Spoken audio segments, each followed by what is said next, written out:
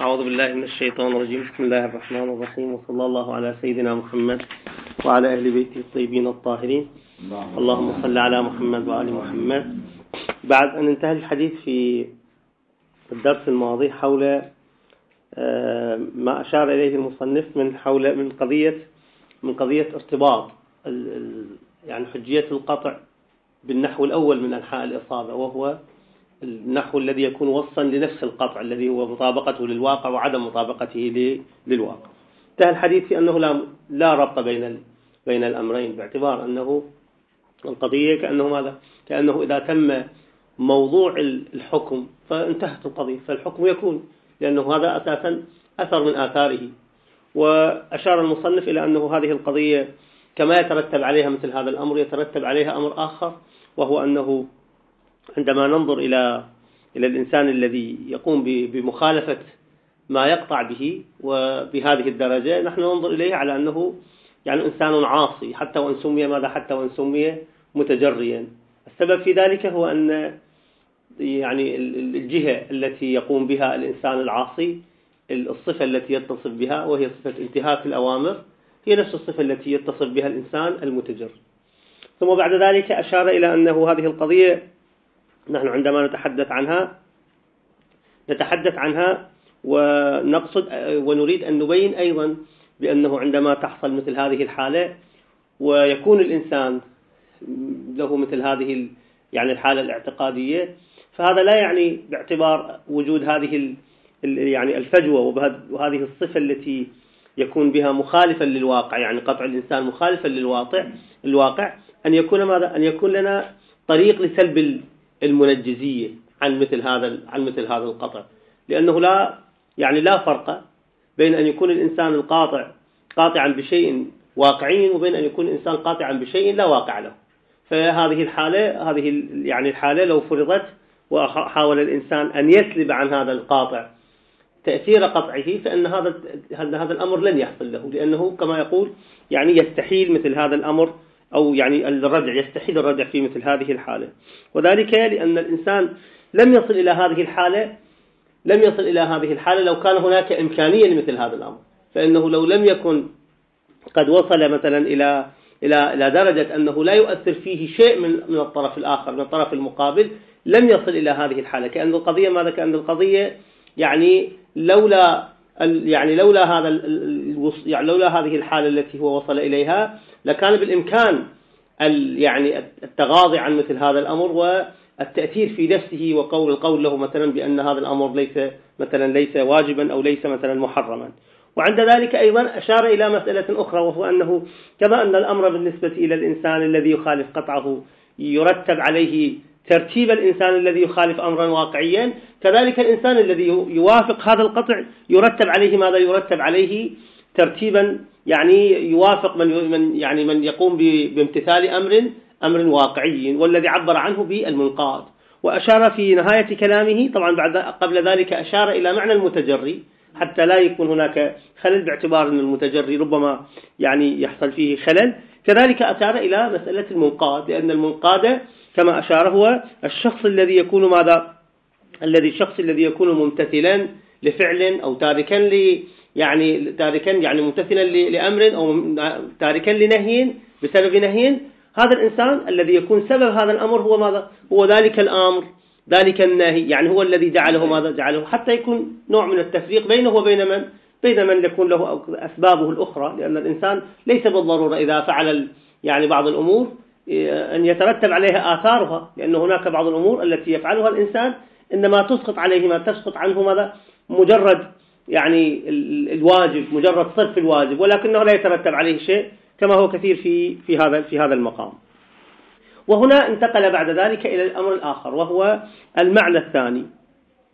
هنا المعنى الآخر الذي هو المعنى الثاني قد يعني وقع الكلام فيه على على أقوال كما يقول كما يقول بعضهم باعتبار أن هذه القضية وهي قضية المبررات الموضوعية أو الأسباب التي يتعارف الإنسان يعني في الاستناد إليها. لأن الإنسان في العام الأغلب عندما يستند يستند لأسبابه الخاصة.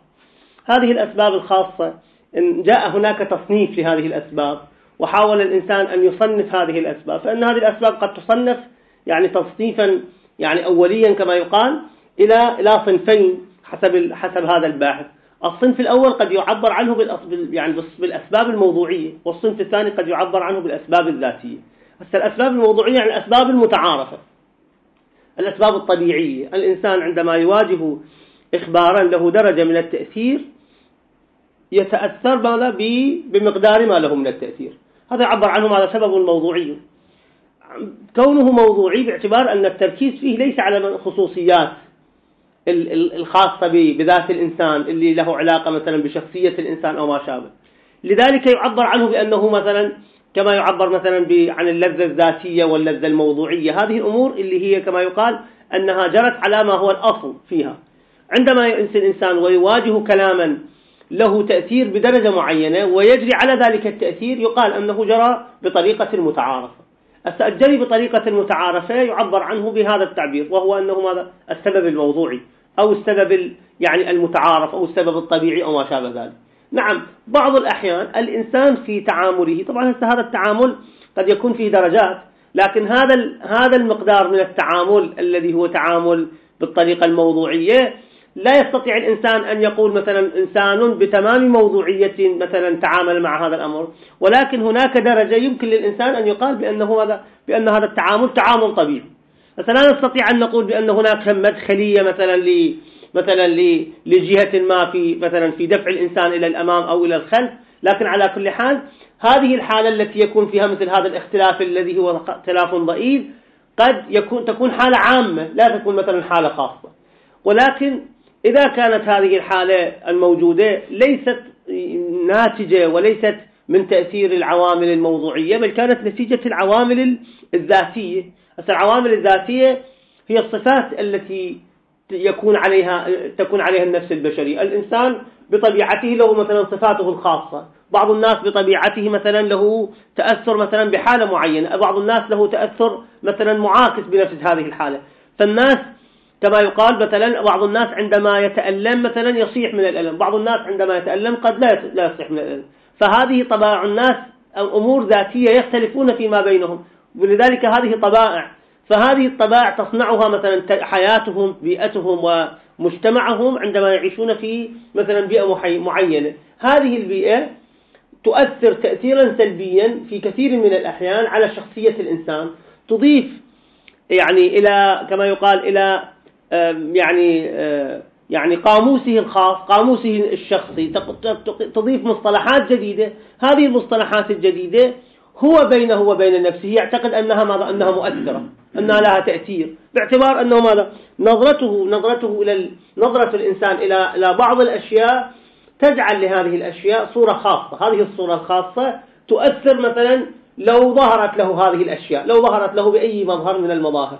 فلو استمع الإنسان بعض الأحيان إلى كلام شخص هذا الشخص مثلا يكون له احتراما مثلا غير طبيعي.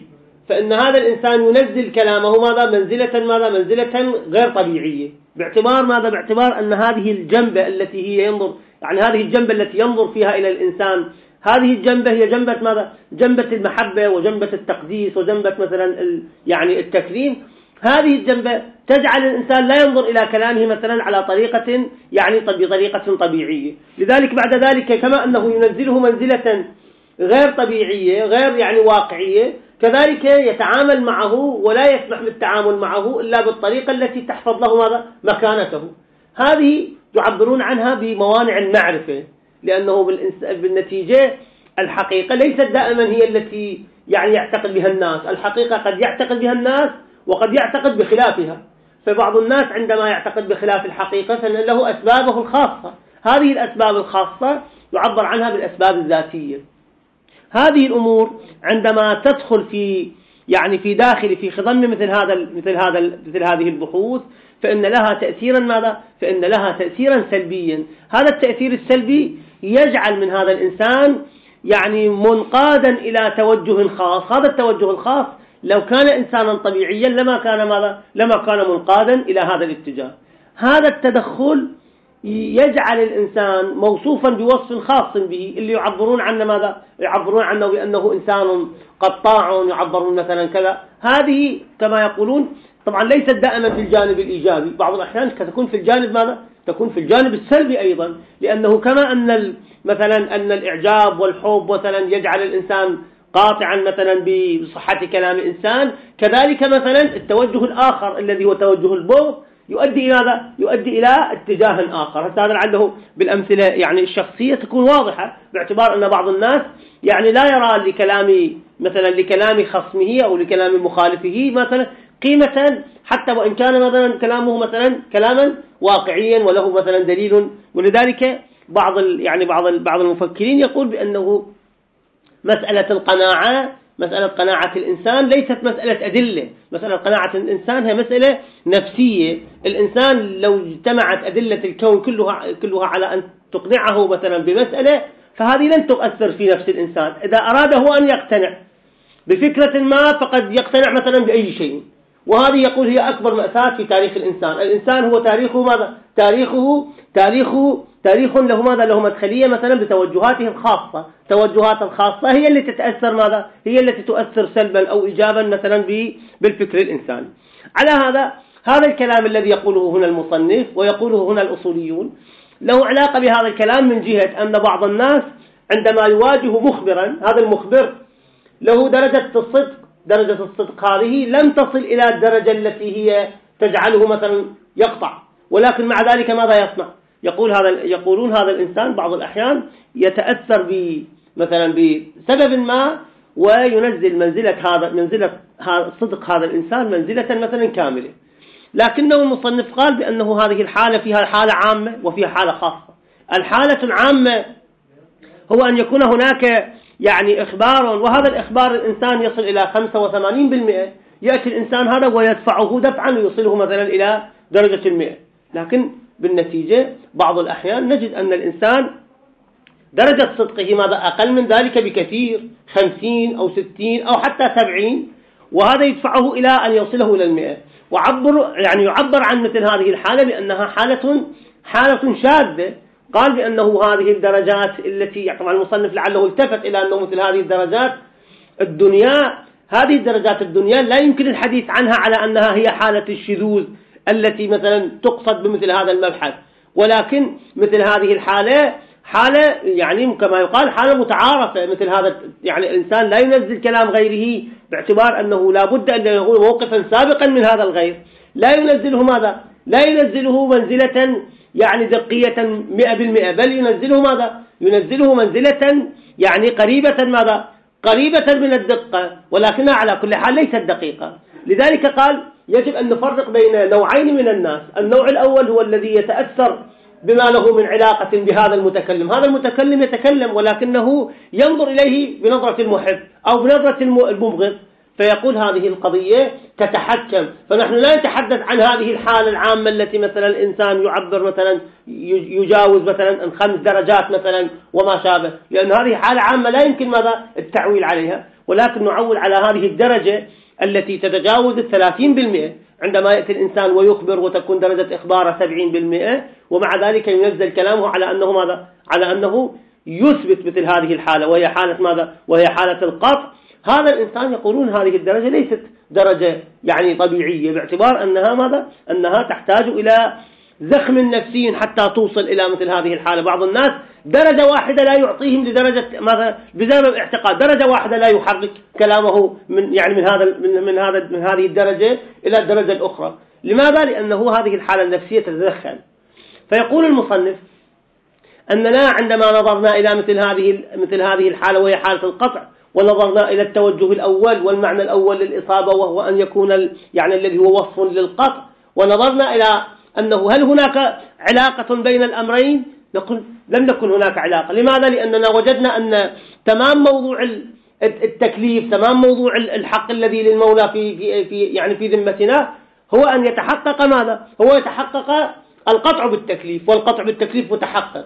فهل أن هذا الكلام الذي أشير إليه هناك هو نفسه هنا؟ يقولون هنا كلام بين بينهم. هناك بعض المتوجهين في هذه القضية يرون ماذا؟ يرون أن مثل هذه القضية ماذا؟ يعني معتبرة لأنها ماذا؟ لأنها يعني قضية يمكن التجاوز عنها. البعض حتى لا أدري مثلا يعني كيف يمكن وصف مثل هذه الآراء لكن على كل حال هذا رأي يمكن أن يقال فيه بأنه مسألة المبررات الموضوعية أو ما شابه كأن الأمر باعتبار أن النتيجة التي تت... يعني النتيجة التي تترتب عليه أو النتيجة التي تنتج منه ماذا؟ نظرت بنظرة ماذا؟ كما يقال أنه نظرة أولية وبالذات. لما نظرت هذه الحالة وهو أن المقصود من وجود القاطع هو أن يكون ماذا؟ صرف الوجود. يعني نحن نريد أن يكون هناك قطع. هذه إرادة, إرادة أن يكون قطع لم يلحق فيها ماذا؟ لم يلحق تلحق فيها أسبابه. هذه عندما لم تلحق فيها أسباب القطع أنه ما هي الأسباب التي كانت ماذا؟ كانت وراء قطع الإنسان. حتى هنا قد يقال أن هناك يعني مقدمة في هذا الكلام وهو أنه عندما نتحدث عن قطع الإنسان سابقا عندما أشير إلى معنى القطع يعني صاحب يعني القطع غير المصيب أو القطع القطاع قالوا بأن القطاع هنا ليس ليس مشتقا بالطريقة الأدبية لأنه الطريقة الأدبية حتى يعني يشتق للإنسان بأنه ضراف يحتاج ماذا؟ يحتاج إلى تكرر فعل مرة بعد أخرى حتى يستحق مثل هذا الوصف أما إذا قلنا بأنه هذه الصيغة الموجودة هنا بالطريقة الأدبية فمعنى ذلك أن يحصل ماذا؟ أنه نحتاج إلى تلبس هذا الإنسان بمبدأ القطع مرة بعد أخرى حتى يقال ماذا؟ حتى يقال أن هذا فعلا شخص ماذا؟ قطاع ولكن الأصوليين يقولون ماذا؟ يقولون بأن القضية ليست كذلك بل مقصودنا من القطاع هو الذي يكون ماذا؟ الذي يكون له قطع ليس له مبررات موضوعية فإذا أشرنا إلى إلى هنا إلى إلى قضية وأشرنا إلى أنها يعني يمكن أن تبرر حتى يعني يمكن أن يحتج بها حتى ولو كان الأمر كذلك فيقولون ليس مقصودنا هنا أن أن يكون هناك استناد إلى أمر مرة بعد أخرى. بل نحتاج ماذا؟ بل نحتاج إلى أن نسأل عن مبررات هذا الإنسان. فإذا تبين أن المبررات التي استند إليها في قطعه هذه مبررات موضوعية فعند ذلك ماذا؟ نقول عنه بأنه إنسان يعني قطع بشيء وهذا قطع طبيعي. إذا وجدنا بأن هذا الإنسان قد قطع بمبررات غير موضوعية. فبعد ذلك بعد لا نسأل هل كان هذا الأمر حصل مرة بعد أخرى؟ حصل مرتين حصل ثلاث مرات تكرر أو ما شابه؟ حتى يحق لنا أن نسميه بأنه ماذا؟ بأنه قطاع؟ يقولون لا لا حاجة لذلك لأنه مقصود هؤلاء من القطاع ليس هو الإنسان الذي تلبس بحالة القطع مرة بعد أخرى على الطريقة اللي هي ماذا؟ على صيغة المبالغة في في يعني في الأدب. إنما المقصود منه الإنسان الذي ليس لقطعه مبرر ماذا؟ ليس لقطعه ماذا؟ مبرر يعني موضوعي.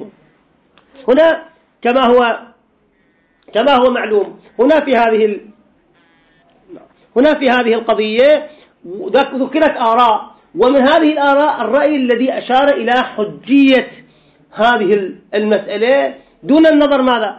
دون النظر إلى هذه الحالة. هذا الأمر ماذا؟ هذا الأمر يعني وهذا الرأي أشار ماذا؟ أشار إلى أن القضية هي قضية ماذا؟ هي قضية وصول إلى حالة. هذه الحالة التي يصل إليها الإنسان. في بعض هذه الحالة التي يصل إلى الإنسان لا ينظر فيها ماذا؟ إلى الخلفيات. لأنه هذا كأنه ماذا؟ كأنه النظرة التي تحاول أن تبين مدخلية القاء يعني مدخلية مبررات القطع في حجية القاطع كأنها تنظر ماذا؟ تنظر إلى الأسس والمبررات. والحال أن مثل هذا الأمر ماذا؟ ليس منظورا. فعلى رأي هؤلاء ماذا؟ فعلى رأي هؤلاء أن مسألة النظر إلى الخلفيات كأنه ماذا؟ كأنه هذا ماذا؟ هذا جخل شيء جديد. ليس هناك نظر كأنه ماذا لو, لو تحرك هذا الباب لو تحرك هذا الباب وكان بسبب تحركه ماذا؟ وكان سببا لأن أقطع بشيء. يقولون هذا هذا كافر في المقام. هذا سبب موضوعي سبب ذاتي. لو لو لو مثلا انطفأ النور مثلا في في هذه اللحظة. فيقولون مثلا هذه الحالة مثلا قد تؤدي إلى أن يتحرك الإنسان ليقطع بشيء. يقولون هذا سبب أدى إلى مثل هذه القطع يعني كما يقولون ولو بخفق يعني الجناح عندما يخفق جناح طير مثلا أدى إلى مثل هذه الحالة. هذا توجه من التوجهات. يوجد ماذا؟ بأنه يمكن ماذا؟ يمكن أن ينظر ماذا؟ ينظر إلى أن هذه القضية مثلا ليست ماذا؟ ليست فيها مثل هذه الحالة ليست فيها مثل هذه الحالة. ولكن مثل هذا التوجه قد يعني ينصب عليه كلام أكثر من هذا التفصيل. هذا التفصيل قد يصل ماذا؟ قد يصل إلى محاكمة هذه الأسس التي يمكن الاستناد يعني التي يمكن الاستناد يعني إليها. فلعله يعني في الدرس القادم نبدأ في هذا الأمر وهو أنه هناك من يقول بحجية القاطع. هذه حجية القاطع إحنا نحن عندما بدأنا البحث ما بدأنا بدأنا بدأنا بأنه يوجد أسباب موضوعية ويوجد ماذا؟ أسباب غير موضوعية. فإذا كانت. كانت القضية أن الأسباب الموضوعية يعني ليست حجة يعني ليس الأمر حجية القاطع يحتاج إلى أسباب موضوعية حتى يكون حجة أو يكون هناك غض من النظر من هذه الجهة من جهة أن الأسباب موضوعية أو لا فعند ذلك ماذا سيكون سيكون هذا الباب مفتوح أمام الأسباب جميعا فكل سبب يؤدي إلى القاطع. ماذا يكون هذا يكون هذا سببا مقبولا. بالنتيجة سيكون ماذا؟ سيكون ستكون هذه الحجية حجية القطع في هذا المقام كأنها ماذا؟